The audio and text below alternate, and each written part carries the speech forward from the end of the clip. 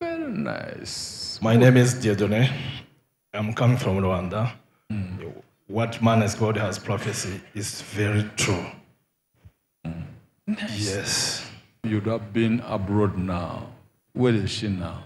Man of God, what you say is true. Uh, I've got a wife, whom she's now in, uh, in the US, citizen.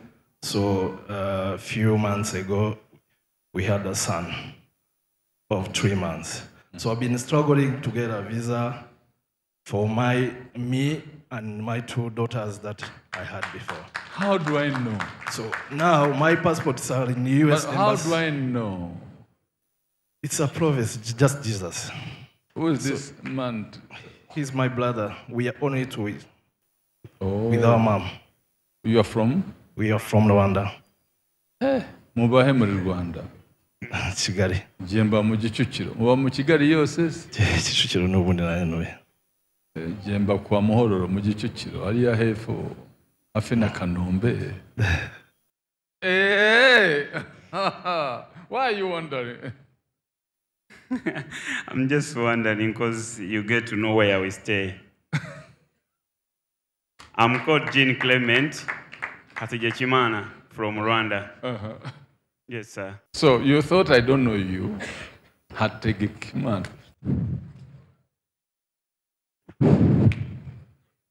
Deliverance going on for the two brothers from Rwanda. Abuba. In the mighty name of Jesus.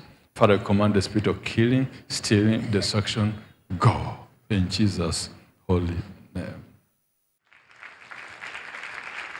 But we've been passing through the financial situation whereby This is today over.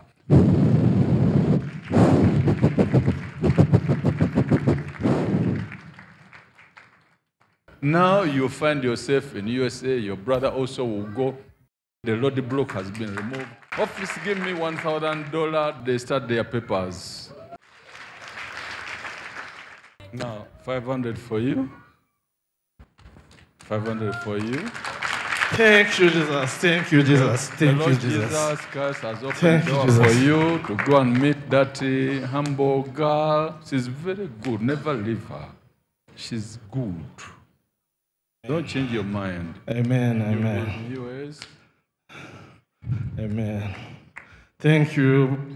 Thank you. over. Thank Ayo aiwe data mwiza tuzagiriwa. Thank you, Jesus.